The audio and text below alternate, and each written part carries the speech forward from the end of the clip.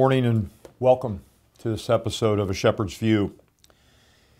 Um, yeah, I thought I would just uh, speak with you from the heart this morning. I usually have some sort of a prepared um, list of things uh, that I want to do, and but a scripture that's been on my heart, uh, particularly this week for some reason, has been Psalm 37. As I look at my Bible, um, it says at the very top, it's one of my rules of life. Uh, this entire psalm is one of my life verses, one of life chapters, if you will. I think that we are walking through some difficult times right now. Uh, we've been in this uh, thing for quite a while. We're getting some vaccines and getting various things like that. And but we hear in the news there's there's all kinds of there's a new strain here or a new strain there, and and we look out into the future. I remember yesterday just commenting to someone as they um, as we were talking about the vaccine and what that would allow us to do. Well, uh, honestly, uh, the vaccine uh, is not going to allow us to do much different than we are right now until the numbers decrease. Uh, big thing. We got to have numbers down under the threshold mark that has been established. And until that happens, there's a lot of things that are going to remain the same, even though the vaccine is out there. So we have all these various things that are bombarding us and coming towards us and continue to, and have um, we're coming up on almost a year. We've, we've been in this a solid 11 months, and maybe we've got another 11 months. I don't like to say that. I don't like to look at it that way, but uh, it's there. I know as, as a man, um, I really want to fix this and cannot fix it. I know that there is. Uh, a level of frustration and anger that just hangs down underneath uh, because of that. And we, we struggle with some of these things that uh, we can't get our hand around, our, our, our mind around, and make the changes. And I've been drawn to a passage, uh, Psalm 37. I just want to read from this this morning. Uh, not take a lot of time. Uh, maybe we'll take a couple episodes to read from this. And this Psalm of David, it's entitled in my Bible, The Heritage of the Righteous and the Calamity of the Wicked. Um, begins this way Do not fret. wow. Don't we need to hear that today? Do not fret. I, matter of fact, I have underlined in my Bible, do not fret Verse 3, trust in the Lord. Verse 4, delight yourself also in the Lord. Verse 5, commit your way to the Lord. Trust in him, and he shall bring it to pass. Verse 7 says, rest in the Lord. Verse 8 says, cease from anger. And again it says, do not fret. Wow, first eight verses really, really speak into the situation that we're in. Psalm 37, great, great passage of Scripture. Let me just read that for you. Do not fret because of evildoers, nor be envious of the workers of iniquity, for they shall soon be cut down like the grass and wither as the green herb. Trust in the Lord and do good. Wow, there you go. Dwell in the land and feed on his faithfulness. Wow, is that not a word for us today? Trust in the Lord and do good. Dwell, that means occupy, dwell, live there. When you dwell in a house, you've you have pictures on the wall, you have uh, decorations, furniture in place. Um, there's there's laundry in the washing machine. There's uh, there's your favorite comforter laying on the bed or whatever. You know, you're living there, you're in the house.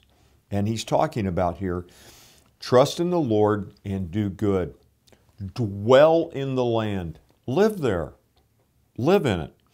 And feed on his faithfulness. If you haven't done this already, I encourage you to do this today, this week. I want you to look back over 2020. I know that's difficult. A lot of people say, I just want to forget 2020. I want to move on. Well, nah, can't quite do that. It left a lot of residue. And I think it's important that we look back. We look back on 2020 this way and we search for the faithfulness of God. It's there. It is there. 2020 was not a complete wash. 2020 had some beautiful moments. I, I look at it in my own life and I think, wow, how in the world, in the middle of this whole mess, did that happen? But I see God's hand, and I want to acknowledge that today. I acknowledge that to you. So trust in the Lord, do good, keep doing what He's called us to do, dwell in the land, and feed on His faithfulness. Delight, find joy. That's what it means. Delight yourself also in the Lord, and He shall give you the desires of your heart. You know, when we find our joy in the Lord, the being in the joy of the Lord also puts in our heart those things which He wants us to have anyway. So there's this I'm joying in the Lord, and it also changes my heart that the things that I desire are what He wants me to desire, and He fulfills that. Verse 5 continues on with Commit your way to the Lord, trust also in Him, and He shall bring it to pass. We're back almost a repeat to verse 4 in just delighting in the Lord and committing, letting Him have it, letting Him have it, putting Him, putting that in there. Uh, one of the great struggles in my life is, uh, and you've seen it lived out in my uh, in my fight with the technology issues we have for our Sunday gatherings.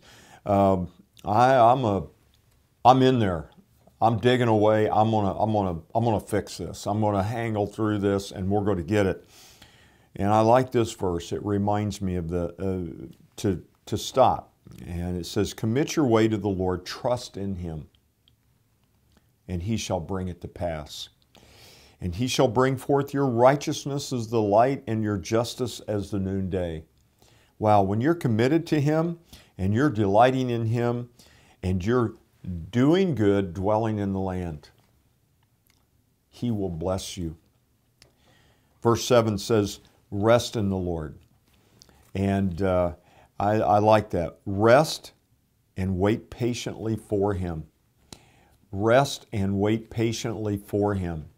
That's, a, that's an incredible uh, verse there as we just simply let Him take care of things. And again, verse 7 says, Do not fret. Do not fret. And then in verse 8, cease from anger and forsake wrath. Do not fret. Well, as we look into the future and we think about some of those things that are ahead of us, it can still drain the tra- tank dry, as they say. And and we look at that, I encourage you to go to chapter 37, Psalm 37 rather, and just immerse yourself in that whole thing. We'll, we'll talk more about uh, the other verses. This is a rather long psalm. There's plenty of it there.